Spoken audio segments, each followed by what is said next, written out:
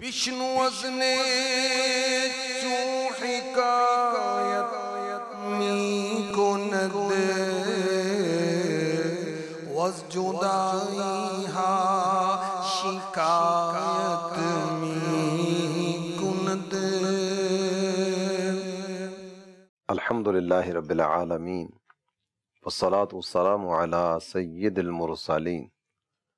اما بعد فاعوذ باللہ من الشیطان الرجیم بسم اللہ الرحمن الرحیم الصلاة والسلام علیکہ یا رسول اللہ وعلى آلک واصحابک یا حبیب اللہ الصلاة والسلام علیکہ یا نبی اللہ وعلى آلک و اصحابک یا نور اللہ میرے پیارے اسلامی بھائی اور مدنی چینل کے ناظرین مدنی چینل کے پروگرام درس مصنوی شریف میں ایک مرتبہ پھر آپ کی خدمت میں حاضر ہیں۔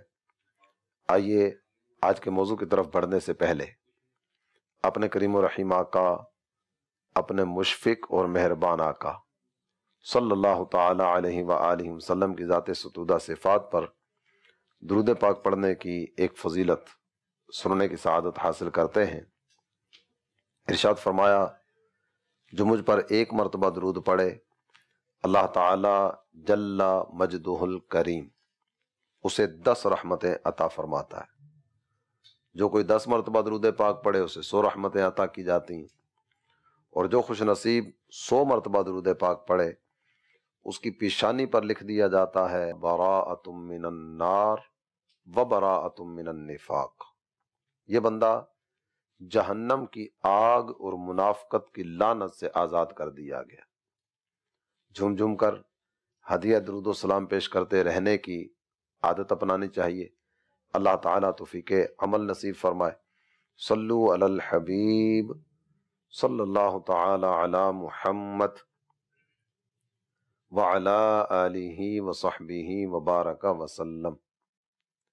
میرے پیارے اسلامی بھائی اور مدنی چینل کے ناظرین اللہ تعالیٰ جل جلالہ کے نیک بندوں کا ایک انداز یہ بھی ہے کہ جب کسی ایسے واقعے کا تذکرہ کرتے ہیں یا کسی ایسے فرد کا تذکرہ کیا جاتا ہے جو راندہ درگاہ ہوا، اللہ تعالیٰ جل جلالہ کی رحمت سے جسے دور کر دیا گیا، جس پر کو آزمائش آ گئی، جس پر کو مصیبت آ گئی، جو کسی نافرمانی کا ارتکاب کر بیٹھا۔ تو ایک انداز یہ ہوا کرتا ہے کہ پہلے اپنے لیے عافیت کی دعا کی جاتی ہے اور اس کے بعد اس کے اس کول فعل عمل کا تذکرہ کیا جاتا ہے۔ آج جس عنوان کی طرف ہم بڑھیں گے، اس عنوان کی طرف بڑھنے سے پہلے مولانا روم علیہ رحمت اللہ القیوم۔ آپ نے جس انداز کو اپنایا، اسی انداز کو ہم بھی اپناتے ہیں۔ آپ نے سب سے پہلے جو کلمات ذکر فرمائے، وہ کلمات یہ ہیں، از خدا خواہم توفیق، ادب، بے ادب، محروم، ماند، از فضل رب۔ ہم اللہ تعالی جل جلالہ سے ادب کی توفیق مانگتے ہیں۔ اللہ تعالی ہمیں با ادب رکھے، بے ادبی سے بچائے، بے ادبوں کے سائے سے بھی محفوظ فرمائے۔ اور ہم تو اللہ کی بارگاہ میں یہ بھی عرض کریں گے کہ اللہ تعالی ہماری آنے والی نسلوں کو بھی اپنا، اپنے محبوب صلی اللہ تعالی علیہ وآلہ وسلم کا، اپنے محبوب بندوں کا اور مقامات مقدسہ کا با ادب رکھے۔ بے ادبی سے بچائے، بے ادبوں کے سائے سے بھی محفوظ فرمائے۔ با ادب، با نصیب، بے ادب، بے نصیب۔ اور یہ ادب کس انداز میں اپنے نظارے دکھاتا ہے اس پر ایک جھلک آپ کے سامنے رکھتا ہوں۔ حضرت موسیٰ کلیم اللہ علی نبینا و علیہ السلام آپ کا مقابلہ کرنے کے لیے جب فرعونی جادوگر آتے ہیں، تو انہوں نے آ کر ایک جملہ اللہ کے نبی حضرت موسیٰ علیہ السلام کی خدمت میں عرض کیا۔ آئے تو مقابلے کے لیے تھے۔ آئے تو میدان مارنے کے لیے تھے، لیکن یہ جملہ جو ان کے منہ سے نکل نا، یہ جملہ ادب والا جملہ تھا۔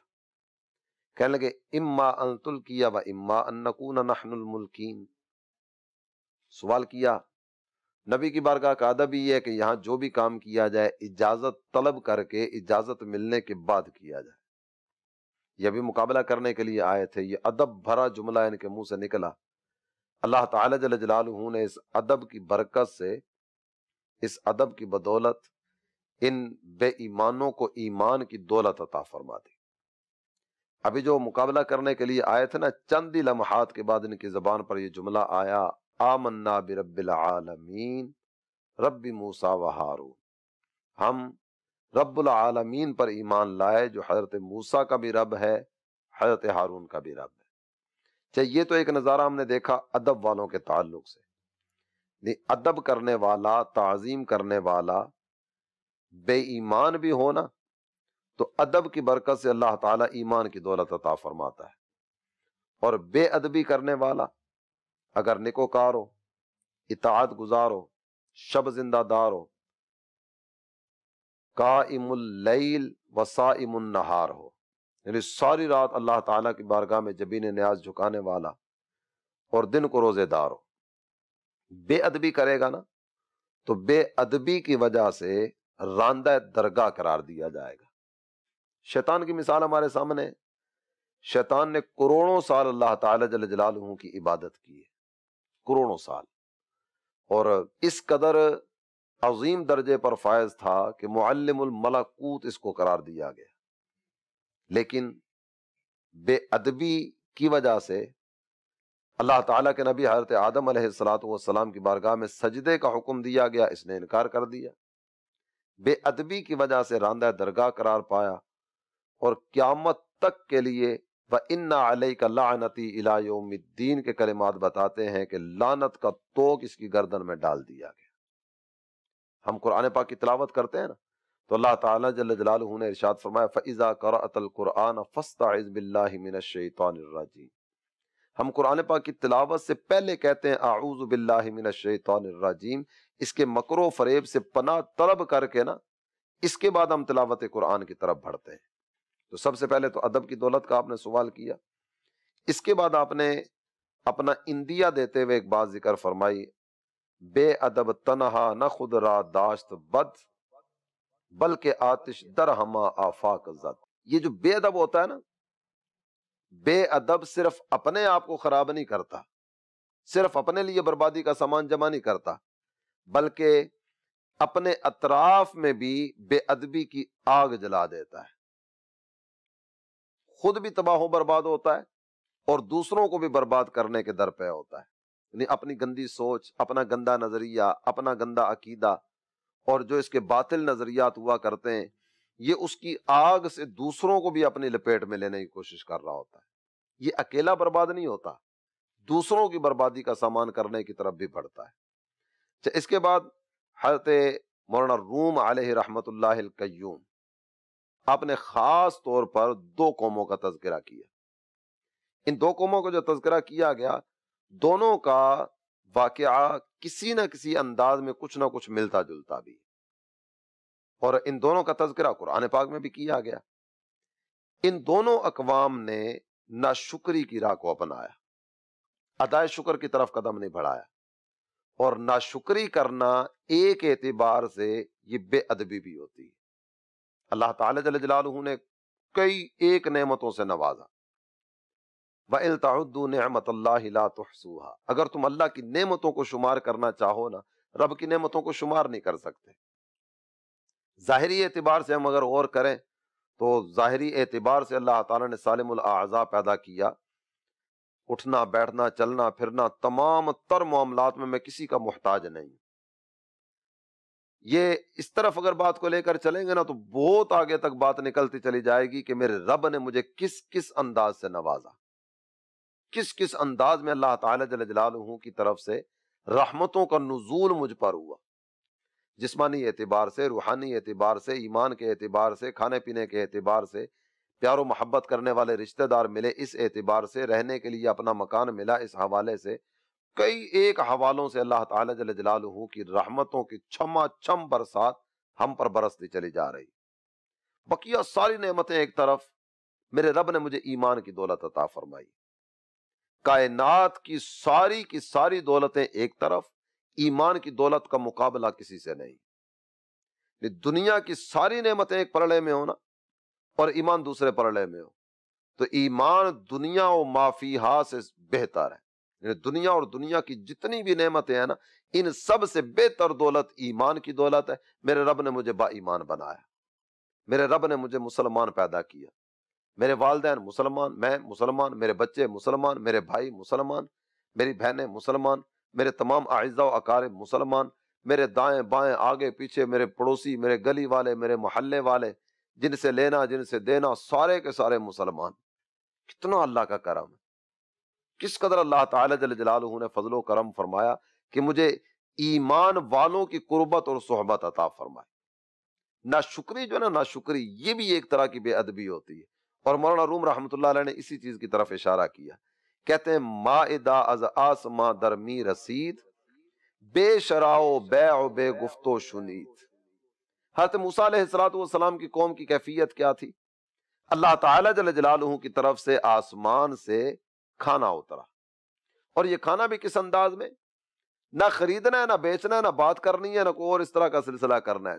چپ چاپ بیٹھے بٹھائے کھانا میسر آ رہا ہے۔ کس قدر اللہ کا کرم تھا اور کس قدر رب کریم جل مجدہ نے ان کو نوازا۔ لیکن اس کے بعد کیا ہوا؟ خالق کائنات جل جلالہ کی طرف سے ایک عظیم الشان نعمت ان کو میسر آئی۔ آپ اگر غور کریں نا، ہمیں کھانا کھانے سے پہلے جو لوازمات اختیار کرنے پڑتے ہیں وہ کس طرح کے؟ دفتر جائیں گے، فیکٹری جائیں گے، اپنے کاروبار کی طرف جائیں گے، دکان کھولنے کی طرف جائیں گے، محنت مزدوری کی طرف قدم بڑھائیں گے، اتنے پاپڑ بیلنے کے بعد پھر جا کر وہ روٹی بیلی جاتی ہے اور ہمارے حلق سے نیچے اترتی ہے۔ اتنا سارا اہتمام کرنا پڑتا ہے۔ وہاں کسی اہتمام کی حاجت نہیں پڑی۔ اللہ تعالیٰ جل جلالہ نے یہ رزق کے خزانے ان کے لیے ایسے کھولے کہ آسمان سے کھانا نازل فرما دیا لیکن اس کے بعد کیا ہوتا ہے؟ درمیان قوم موسا چند کس، بے ادب گفتند کو سیرو عدس۔ یہ قوم حضرت موسا علیہ السلاۃ والسلام کی بارگاہ میں آ گئی۔ ان میں آپ نے ذکر کیا کہ چند لوگ اس طرح کے تھے جو حضرت موسا علیہ السلاۃ والسلام کے پاس آئے اور قرآن نے جو تذکرہ کیا نا، اگر کہتے ہیں لن نصبر علی طعام واحد۔ اے موسا یہ روزانہ ایک طرح کا کھانا ہم سے نہیں کھایا جاتا۔ یہ کیا ہوا جناب؟ روزانہ ایک قسم کا کھانا اور روزانہ وہی کھانا، روزانہ وہی کھانا، ہم یہ روزانہ ایک طرح کا کھانا نہیں کھا سکتے۔ فد علنا رب کا یخر جلانا مما تم بت الارض مم بکلیہا وکتا وفومیہا وعدسیہا وبصلیہا اپنے رب کی بارگاہ میں دعا کرو کہ وہ ہمیں زمین سے نکلنے والی چیزیں بھی عطا فرمائے۔ آسمانی کھانا مل رہا ہے، آسمانی کھانے کو چھوڑ کرنا یہ زمین کے کھانے کی بات کر رہے ہیں۔ بعض اوقات اس طرح کی صورتیں ہوتی ہیں، اللہ تعالیٰ جل جلالہ نے ٹھیک ٹھاک نوازا ہوتا ہے بندے کو۔ وہ بندہ اس قدر نعمتوں سے فیضیاب ہو رہا ہوتا ہے کہ اطراف میں اگر غور کرے نا، اپنے گرد و پیش کا اگر جائزہ لے تو شاید کروڑوں سے بہتر یہ زندگی بسر کر رہا ہو۔ لیکن پھر بھی جناب میرے پاس ہے ہی کیا میں کس بات پہ شکر ادا کروں؟ کیا کروں جناب؟ اس کو دیکھتا ہوں تو وہ مجھ سے آگے نظر آتا ہے، اس کو دیکھتا ہوں، یہ نعمتوں میں آگے نظر آتا ہے۔ وہ جس کو نعمتیں ملی ہیں نا، ان کی نعمتیں دیکھ دیکھ کر جل رہا ہوتا ہے۔ ان کی نعمتیں دیکھ دیکھ کر کڑ رہا ہوتا ہے۔ اور اللہ تعالیٰ نے اسے جو نوازا ہے نا، اس کی طرف اس کی توجہ نہیں ہوتی۔ یہ اپنے سے اوپر والوں کو دیکھ رہا ہوتا ہے، اپنے سے نیچے والوں کی طرف اس کی توجہ نہیں ہوتی۔ تو ان کی طرف سے کلمات کیا کہے گئے؟ اے موسا یہ روزانہ ایک طرح کا کھانا ہم سے نہیں کھایا جاتا، کو ساگ ملے، کو ککڑی ملے، کو گندم ملے، کو مسور ملے، کو پیاز ملے، کو اس طرح کی چیزیں ہمیں ملے حضرت موسا علیہ السلاۃ والسلام نے جو ان سے کلمات ذکر فرمائے، وہ کیا تھے؟ اتستبدلون الذی ہوا ادنا بالذی ہوا خیر اللہ کو چھوڑ کر ادنا کی طرف جا رہے ہو۔ تمہارے رب نے کتنی لذیذ نعمتوں سے تمہیں فیض یاب فرمایا۔ لیکن اس کے باوجود تم وہ نیچے والی چیزوں کی طرف بڑھ رہے ہو ادنا چیزوں کو اختیار کرنے کی طرف جا رہے ہو۔ اور اس کے بعد جو کلمات ذکر کیے گئے اہ بتو مصرن فن لکما سألتم۔ ٹھیک ہے، یہاں سے چلے جاؤ۔ جس چیز کا تم سوال کر رہے ہو نا، جاؤ اور اس چیز کو اختیار جا کے کر لو۔ یہاں مولانا روم علیہ رحمت اللہ القیوم اس کا تذکرہ کرتے ہوئے ارشاد فرماتے ہیں منقط شد خان و نا از آسما، ماند رنجے زرع و بیلو داسما۔ ان کا تقاضا یہ تھا کہ ہمیں جناب وہ دال سبزی چاہیے، تو ہمیں یہ چاہیے، تو ہمیں وہ چاہیے، یہ فریاد لے کر حضرت موسیٰ علیہ السلاۃ والسلام کے پاس گئے۔ جو آسمان سے نعمت آ رہی تھی نا نہ شکری کی وجہ سے وہ آنے والی نعمت روک دی گئی۔ اور پھر اس کے بعد کیا ہوا؟ کھیتی ہے، کدال ہے، درانتی ہے۔ کھیتی باڑی کی طرف نکل گئے اور زمین سے یہ سبزیاں اگانے کا ان کو دوبارہ پھر مشقت کا سامنا کرنا پڑا۔ بن مانگے دیا جا رہا تھا، بغیر مشقت کے عطا کیا جا رہا تھا، لیکن وہ ناشکری والی راہ کو اپنا کرنا یہ مزید آگے نکل گئے۔ چاہے یہ ذکر کرنے کے بعد ان کی ناشکری اور ناشکری کا انجام۔ اس کے بعد آگے دوسری بات ذکر کی جا رہی ہے۔ باز عیسیٰ چون شفاعت کرد حق خاں فرستاد و غنیمت بر طبق۔ اس کے بعد زمانہ آیا ہے عیسیٰ علیہ السلاۃ والسلام کا۔ یہاں بھی قوم ان کی خدمت میں آ کر عرض کرتی ہے، اے عیسیٰ علیہ السلاۃ والسلام، آپ تو مقرب بارگاہ ہیں نا، محبوب خدا ہیں۔ اللہ کی بارگاہ میں عرض کرے نا، اللہ تعالی جل جلالہ آسمان سے کھانا نازل فرما دے۔ حضرت عیسیٰ علیہ السلاۃ والسلام، جب ان کی طرف سے یہ گزارش پیش کی گئی نا، تو آپ نے اللہ تعالی جل جلالہ کی بارگاہ میں فریاد پیش کی۔ ما ادا از آسما شدہ آئدہ چونکہ گفت انزل علینا ما ادا کہتے حضرت موسیٰ علیہ السلاۃ والسلام نے اللہ کی بارگاہ میں عرض کی تھی، ربنا انزل علینا مائدہ۔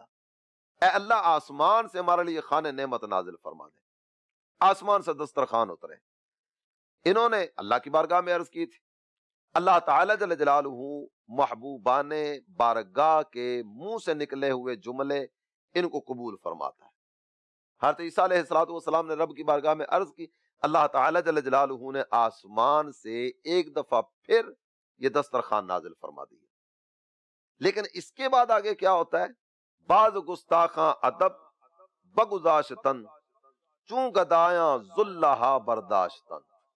آپ فقیر کو دیکھتے ہوں گے، فقیر کے پاس ٹھیک ٹھاک سرمایہ بازوں کا جمع ہو جاتا ہے، لیکن اس کے باوجود وہ جمع مال کی تما اس کو ہلاکت خیزیوں کی طرف لے کر جاتی اور اور اور اور، وہ اس چکر میں ہوتا ہے۔ یہاں کو ہم نے کیا کیا؟ اللہ تعالی جل جلالہ کی طرف سے انعامات و اکرامات کا سلسلہ جاری ہے۔ اور یہ جو آنے والا کھانا تھا نا، اس کو شکم سیر ہو کر کھا لینے کے بعد بھی کچھ بچا کر اگلے ٹائم کے لیے رکھنے لگے۔ اگلے وقت کام آئے گا۔ جبکہ اللہ تعالی جل جلالہ کے نبی حضرت عیسیٰ علیہ السلاۃ والسلام، انہوں نے جو ان کو ارشاد فرمایا تھا نا، اس کا تذکرہ کرتے ہوئے ذکر کیا گیا کرد عیسیٰ لاب ایشا را کے این دائے مستو کم نہ گردد ازمی بچا کر نہ رکھنا۔ ایک وقت میں کھا لیا کھا لیا۔ جس رب نے اس وقت میں عطا کیا نا، وہی رب دوبارہ اگلے ٹائم میں بھی تمہیں عطا فرمائے گا۔ اگلے وقت کی فکر نہ کرنا۔ یہ کھانا جو تمہیں مل رہا ہے نا، یہ ہمیشہ ملے گا اور کسی قسم کی کوئی بھی تنگی تمہارے لیے نہیں ہوگی۔ اللہ کے نبی کا دیا وہ وعدہ تھا۔ نبی کے دیے ہوئے وعدے پر دل و جان سے قربان ہونا چاہیے تھا، لیکن یہ قوم نا شکری کی طرف گئی۔ اگلے وقت میں نہ آیا تو اپنے پاس کچھ نہ کچھ تو محفوظ ہونا چاہیے نا۔ اپنے پاس یہ سارے کا سارا انتظام اس انداز میں رکھنا چاہیے کہ اگلے وقت میں کوئی دیری سویری ہو گئی اور کھانا وقت پر نہ آ سکا یا کھانا ہی نہ آیا۔ تو اپنے پاس تو ہونا چاہیے نا۔ علماء فرماتے ہیں کہ پہلے جو کھانا ہوا کرتا تھا یہ خراب نہیں ہوتا تھا۔ بنی اسرائیل نے جب اگلے وقت کے لیے بچانا شروع کیا نا، تو اس وقت سے کھانا خراب ہونا شروع ہوا۔ نہ شکری والا انداز اپنایا۔ اور جس طرح میں نے پہلے عرض کیا نا کہ مولانا روم رحمت اللہ علیہ نے یہ سارے کا سارا جو ذکر کیا نا، یہ آپ نے ناشکری کو بے ادبی سے تعبیر کی ہے۔ نہ شکری کرنے والا کس کی تقسیم پر ناراض ہو رہا ہے؟ نہ شکری کرنے والا کس کی تقسیم پر گفتگو کر رہا ہے؟ نہ شکری کرنے والا کس ذات کے بارے میں یہ جملے بول رہا ہوتا ہے؟ اور اس ذات کے بارے میں یہ کلام کرنا بے ادبی نہیں تو اور کیا ہے؟ اس کے بعد آپ ذکر فرماتے ہیں بد گمانی کردن وحرس آوری، کفر باشد پیش خانے مہتری۔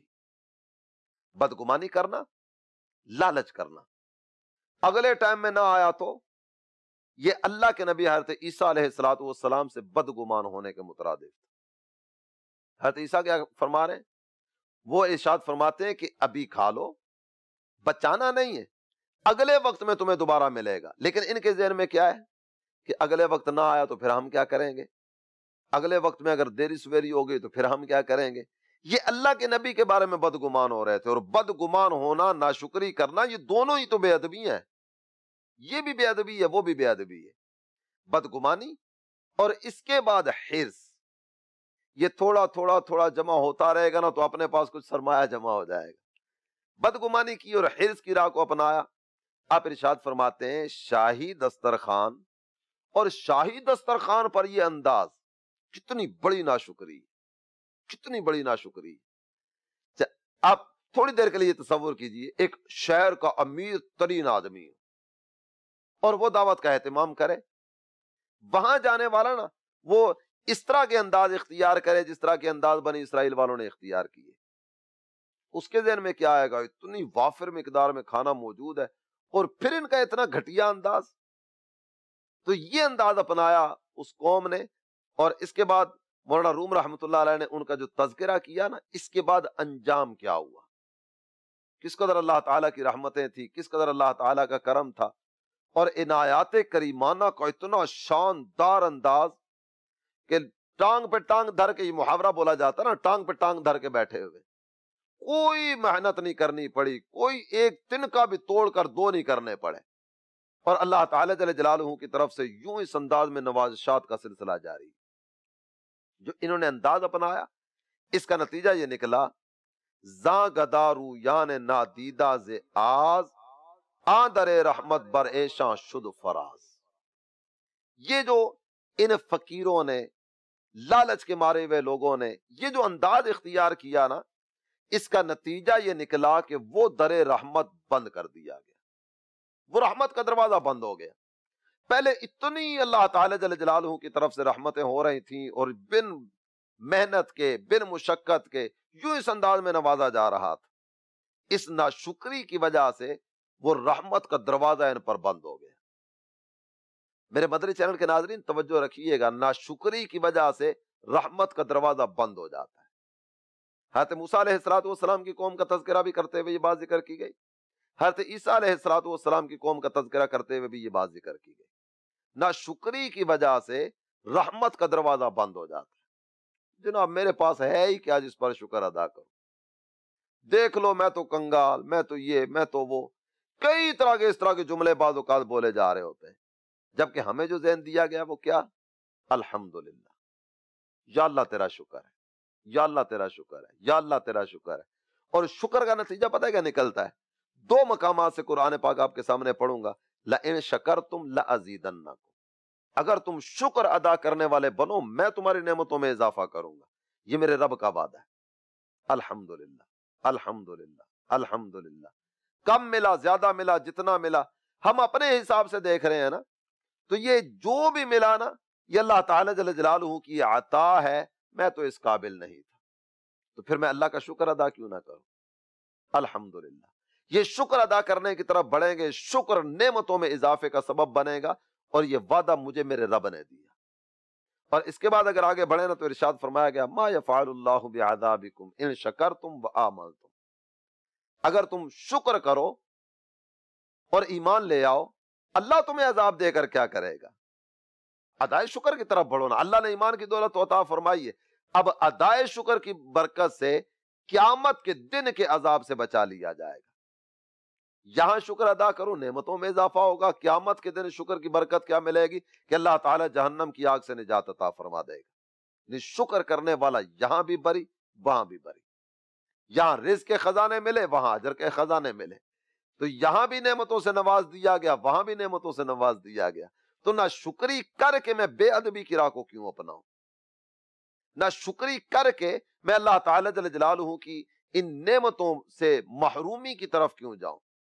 رب کی رضا سب سے بڑی ہے نا۔ تو رب کی رضا شکر میں ہے نہ شکری میں رب کی رضا نہیں ہے۔ تو آئیے شکر گزار بندے بنتے ہوئے آگے بڑھتے چلے جائیں۔ اللہ تعالی جل جلالہ ہمیں شکر گزاری نصیب فرمائے اور نہ شکری کی لانت سے ہمیشہ ہمیشہ ہمیشہ کے لیے اللہ تعالی ہمیں محفوظ فرمائے۔ اور یہ ناشکری جو نا ناشکری یہ بے باقی ہوا کرتی ہے۔ اور آپ فرماتے ہیں، ہر چی آیت بر تو ظلمات غم آزب باقی و گستاخی یس ہم۔ یہ جتنی بھی تکلیفوں میں تو مبتلا ہوتا ہے نا، یہ غم کے بادل تجھ پر چھا جاتے ہیں، طرح طرح کی مصیبتیں آتی ہیں، کبھی بیماری، کبھی تنگی، کبھی کچھ کبھی کچھ۔ ان میں سے کئی طرح کی آزمائشیں یہ تجھ پر بے باکی، گستاخی اور ناشکری کی وجہ سے آتی۔ اللہ کے شکر گزار بندے بن کے جیو، زندگی میں چین، سکون، قرار میسر آئے گا۔ اللہ تعالی ہمیں امام الشاکرین۔ صلی اللہ تعالی علیہ وآلہ وسلم کے رخ انور کا صدقہ اپنا شکر گزار بندہ بنائے۔ آئیے، ادائے شکر کی طرف قدم بڑھاتے چلے جائیں۔ ہر نعمت کے ملنے پر الحمدللہ کہنے کی عادت بنائے، اپنے بچوں کو بھی اسی کی تلقین فرمائے۔ اللہ تعالی عمل کی توفیق عطا فرمائے۔ آمین۔ بجاہ النبی الامین صلی اللہ تعالی علیہ وآلہ وسلم۔ വിഷ്ണുവസിനെ ചൂഷിക്കായത്